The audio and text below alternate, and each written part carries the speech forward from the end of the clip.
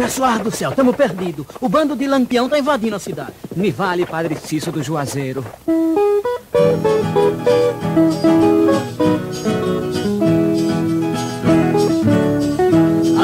A vida que antes levava o povo sofrido das bandas do norte, porque a justiça por lá não havia, somente existia a lei do mais forte. Se ouvia o pranto da mãe pelo filho, e quantas viúvas reclamaram a sorte, porque na cidade estava em visita o bando maldito do lampião da morte. Compadre Lampião, a cidade tá cheinha de mulher bonita e nós não temos mulher nem pra pegar botão na nossa roupa. Então vamos fazer um negócio. Cada um vai escolher uma mulher para acompanhar nossas andanças. Se dois cabras escolher a mesma mulher, ela tem que ser disputada na peixeira. O vencedor fica com ela. O perdedor, se ainda estiver vivo, vai escolher outra mulher. Mas aí daquele que botar os olhos na Maria Bonita, a mulher do sapateiro, aquela bichinha é muito minha. Ouviram seus cabas da peste?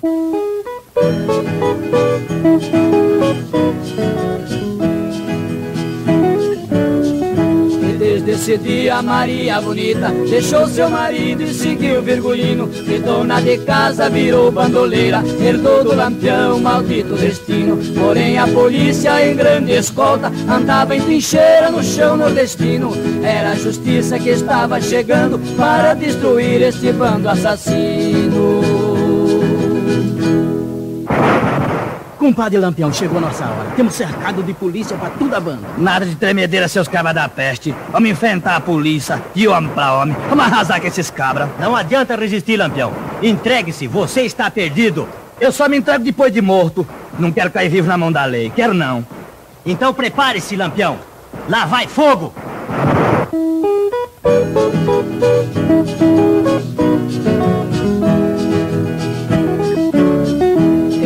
Descarga de chumbo certeiro, deixou Virgulino sem vida no chão. Alguns desordeiros tombaram feridos, e outros sumiram naquele sertão. Maria Bonita morreu no combate, a sua cabeça foi pra exposição. O povo do norte gritava na rua, Tenente Bezerra pagou lampião.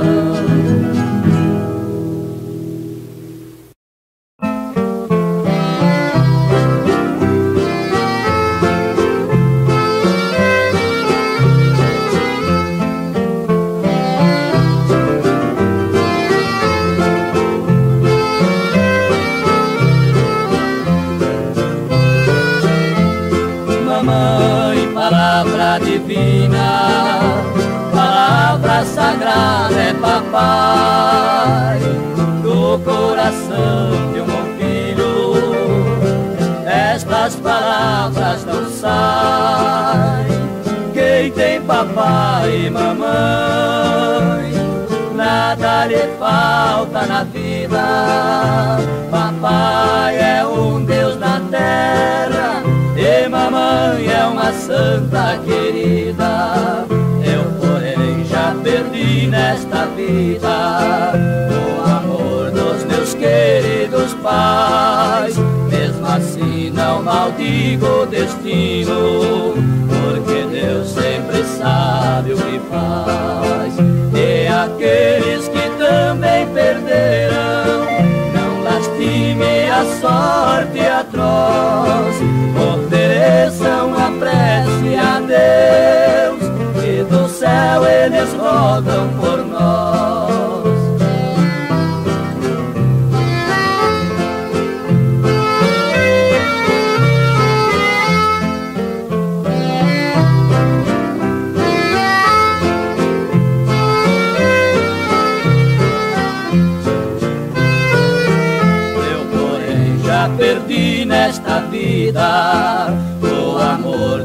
Meus queridos pais. Mesmo assim, não maldigo o destino, porque Deus sempre sabe o que faz.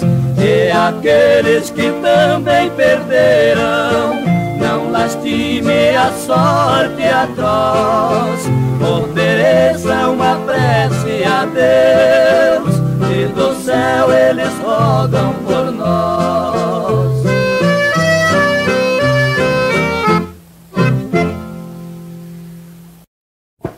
gente na frente? Tem. Truco então. Seis papudo. Nove ladrão do meu tento. Doze reboque de casa velha. Mata sete cobras.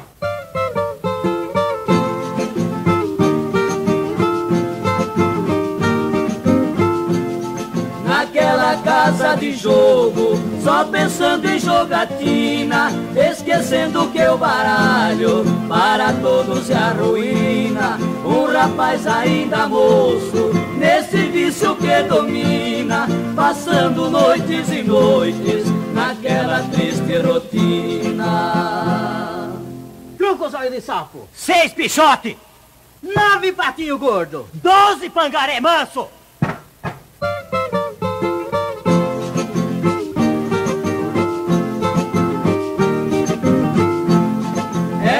Chefe de família, há pouco tempo casado, pai de dois lindos meninos, dois anjinhos adorados. Mas no jogo de baralho, ele tinha se entregado, esquecendo que ser pai é um dever muito sagrado. Zé, ô Zé, Minha esposa aqui? Mas é sua esposa mesmo? É claro. Então vai atender, ver o que ela quer. O que é que você veio fazer aqui uma hora dessa? Você está louca? ô Zé, faz uma semana que você não vai pra casa e eu estou passando fome com as crianças. Nosso filho, o Paulinho, está muito doente e passa as noites chamando seu pai. Eu quero papai, onde está o papai? E eu não aguento mais, Zé. Então Paulinho está doente? Vamos já para casa. Quero ver meu filhinho. Meu Deus, o que é que estou fazendo na minha vida?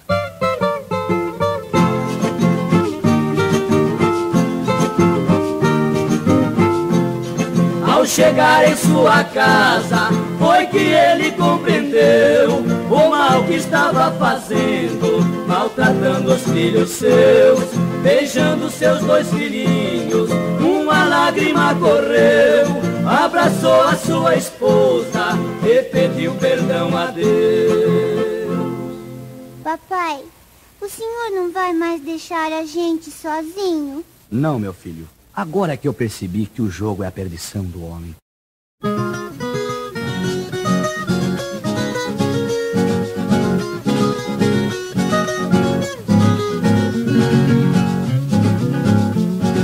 Paulinho retratista das férias tinha voltado. Ao regressar ao trabalho não achou empregado. Encontrou entre os retratos um recente revelado. Era um rosto de mulher, um lindo anjo encantado Admirando o retrato daquela tão linda flor. Paulinho sentiu bater seu coração sonhador Seus olhos admirava este rosto encantador. Pela moça do retrato Paulinho sentiu amor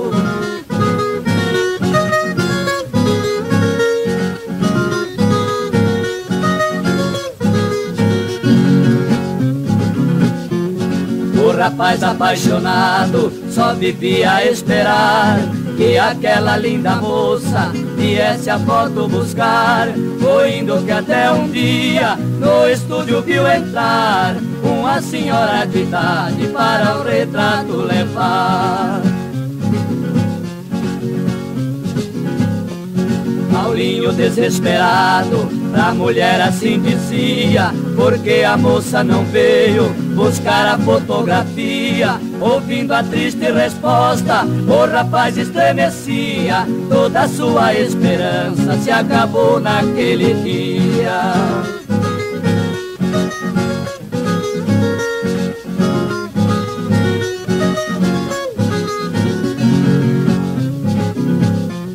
Não fique triste, rapaz, o destino é mesmo ingrato. No tempo da mocidade, eu fui bonita de fato. Há muitos anos guardei este negativo intacto. Por incrível que pareça, sou a moça do retrato.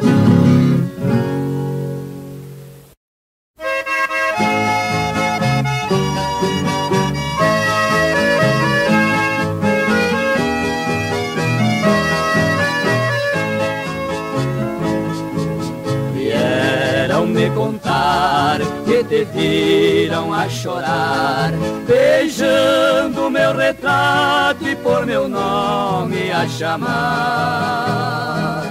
Não sabem quanto mal que causaram em me contar. Com certeza estão pensando que pretendo me vingar. Se enganaram tanto, tanto, não é este o meu desejo. Quisera enxugar-lhe o pranto e sufocá-la com um beijo, reviver o nosso amor, que o ciúme desfez, apertá-la em meus braços, ser feliz outra vez.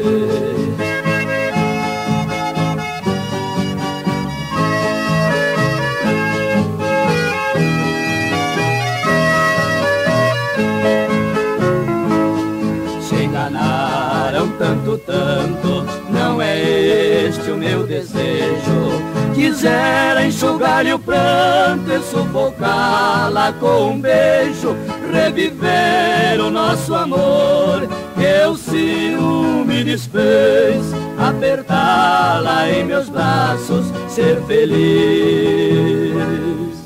outra vez.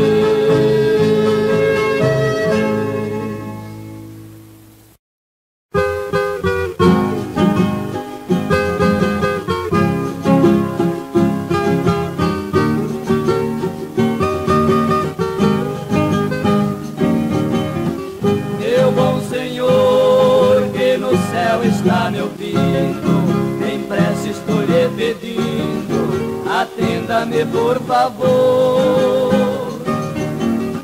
Ao lado dela, lá no céu quero um cantinho. Não me deixe aqui sozinho, não vivo sem meu amor.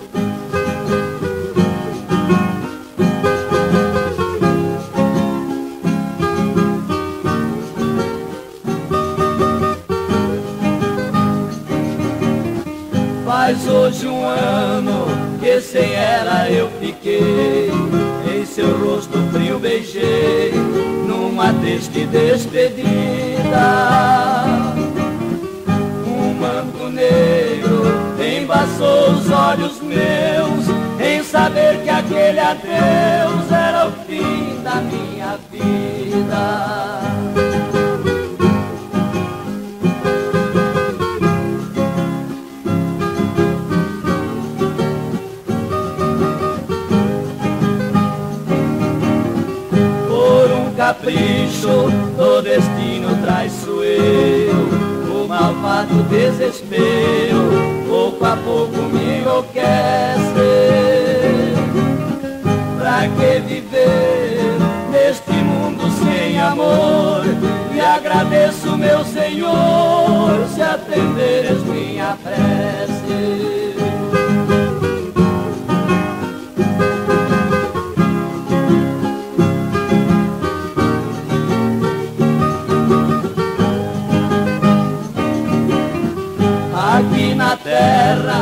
nada tenho e nada quero, ansiosamente espero o meu bom Senhor chamar.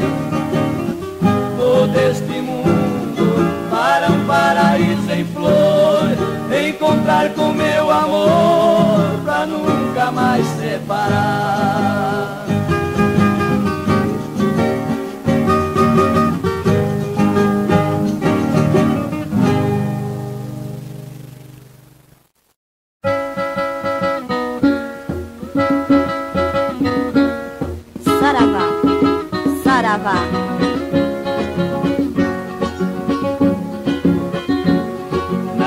Sexta-feira de noite eu saí contrariado.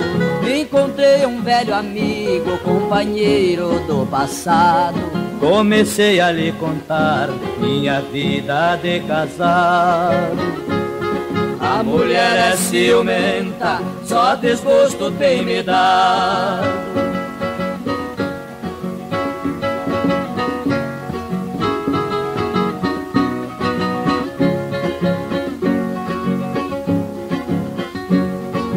O amigo então me disse, vou te levar num lugar Pra voltar a tua sorte e fugir o teu azar. Quero ver a tua vida novamente melhorar. Vou te levar num terreiro pra assistir um saravá. Atenção que vamos começar os trabalhos desta noite.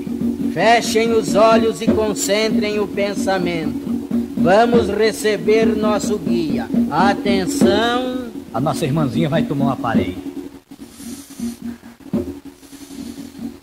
Saravá, o que é que vós me sei está sentindo, Zifio? Eu não tenho mais sossego na minha casa. Minha mulher briga muito comigo. Minha vida tá virando um verdadeiro inferno. Credo em cruz, Zifio. Não fala uma coisa assim. Sua vida tá muito atrapalhada. Seu corpo tá carregado de coisa mal feita. Mas preta véia vai tirar toda essa porcariada que fizeram pra vós ser. Preta véia tá vendo muita paz, muito amor na sua casa. Quando vós ser chegar em casa, vai achar a mulher arrependida, esperando no portão para fazer as pazes com vós me ser. E agora, vamos limpar seu corpo. Hoje azar e volta sorte. Hoje intriga e volta paz. Hoje tristeza e volta alegria, amor e a felicidade. Vai com Deus, meu filho, e que a boa estrela ilumine seus passos. Saravá, filho, saravá.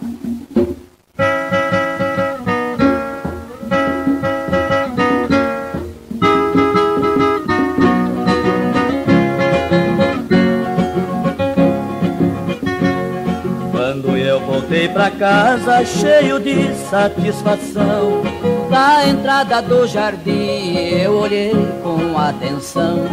Vi a mulher me esperando, encostada no portão. De tanta felicidade, quase chorei de emoção.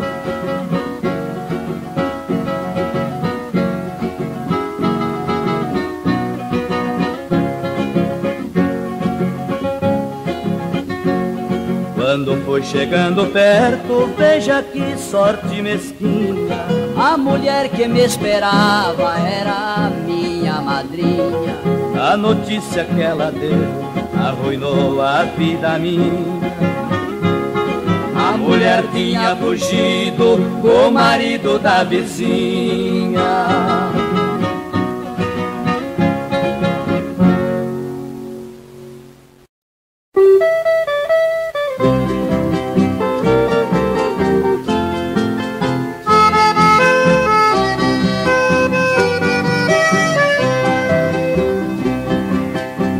Do bem querer precisa de uma empregada que seja muito bonita e também muito educada, que saiba fazer carinho e também seja sincera. O pedido é urgente, o dono impaciente está à sua espera. Pode ser loira ou morena, com ordenado se paga. Mas se não for amorosa e nem carinhosa, não existe vaga. Mas se não for amorosa e nem carinhosa, não existe vaga.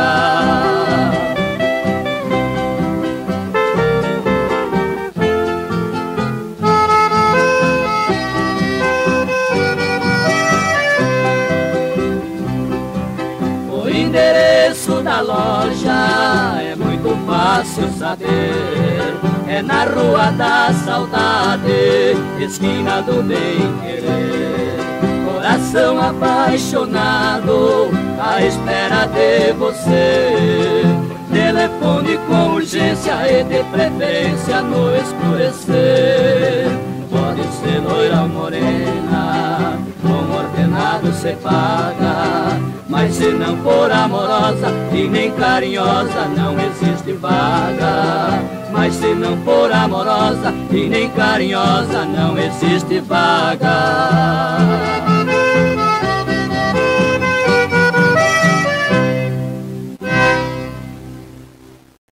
Eu sou o rei soberano, dono da maior riqueza da terra. Tenho tudo o que desejo, mas sou um homem infeliz. Chame o meu primeiro-ministro imediatamente. Pronto, majestade. Estou às suas ordens. Por que sou um rei infeliz? O que devo fazer? Majestade, os antigos diziam que para o rei ser completamente feliz, ele precisa usar a camisa de um homem feliz. Então reúna toda a cavalaria do reinado e que sigam em busca da camisa do homem feliz. Thank you.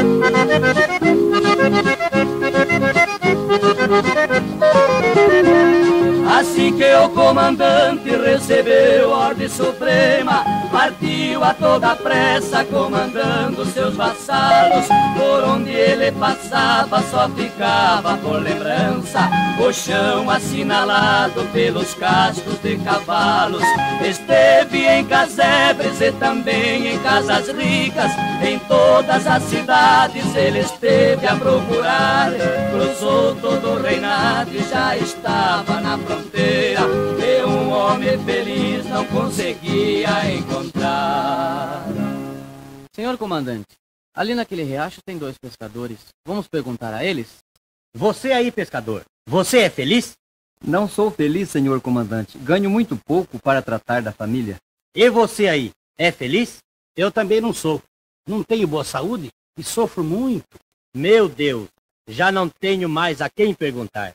Já estou na fronteira do reinado. Comandante, embaixo daquela árvore tem um pastor. Está tocando uma gaitinha de boca. Vamos perguntar a ele?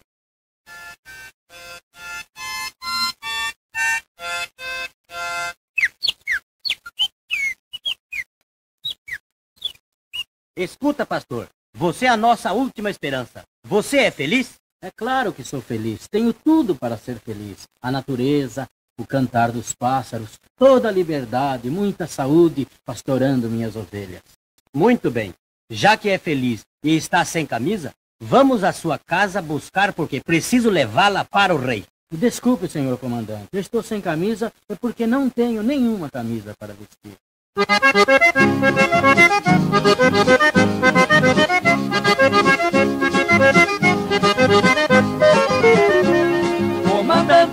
Vassalos retornaram ao castelo. Já estava encerrada a busca do homem feliz E na presença da corte o comandante derrotado Olhando para o rei calmamente ele diz Aqui estou de volta, me desculpe majestade Porque as suas ordens eu não consegui cumprir. Só encontrei um homem que dizia ser feliz ele não tinha uma camisa pra vestir.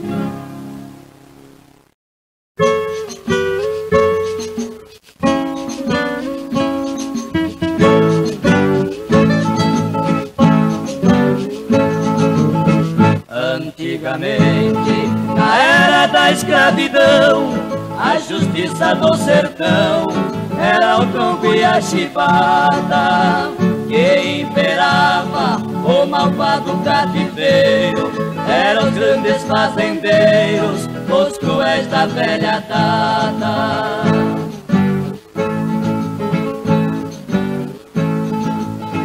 pobres escravos, veja o quanto ele sofria, em cedo sino batia, para os trabalhos começar. Vinha os carrascos, pra surrar sem piedade, os que por enfermidade não pudessem trabalhar. Trabalha, negro, trabalha, negro, trabalha, negro.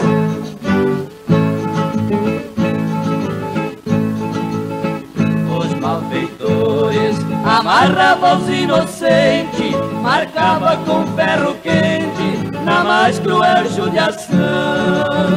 Em cada escravo um olhar de sentimento, por ser grande o sofrimento da maldita escravidão.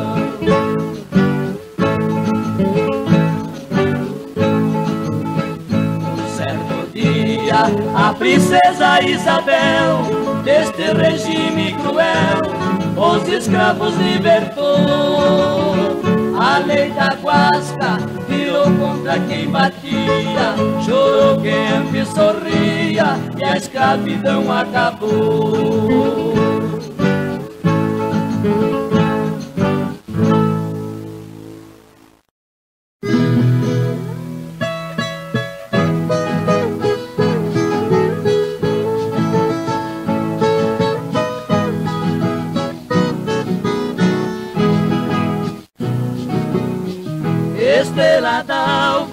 Acompanha as madrugadas.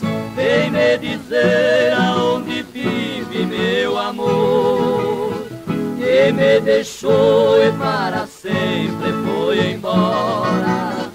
E hoje mora no meu peito esta dor.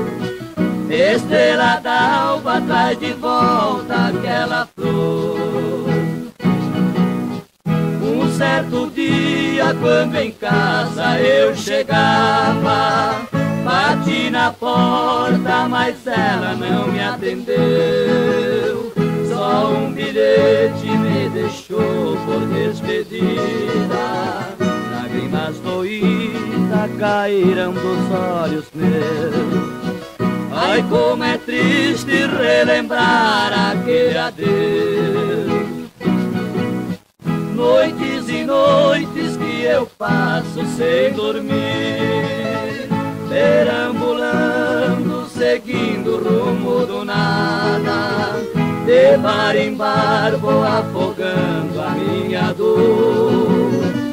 É o mal de amor que no meu peito fez morada.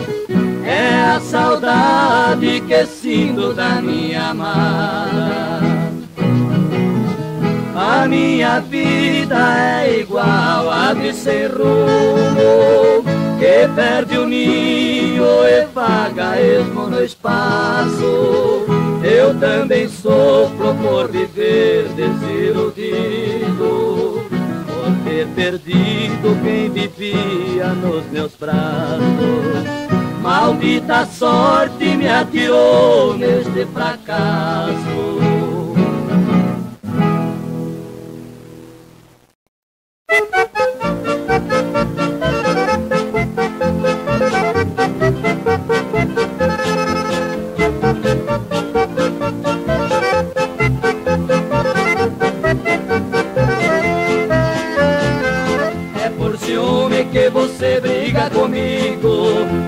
não ligo porque sei te compreender. Pois tudo isto são coisinhas passageiras. Brigas de amor é sinal de bem querer. Talvez um dia chegarás à conclusão que um coração, dois amor não pode ter. Quando os teus olhos enxergar esta verdade, casal feliz igual a nós não pode haver.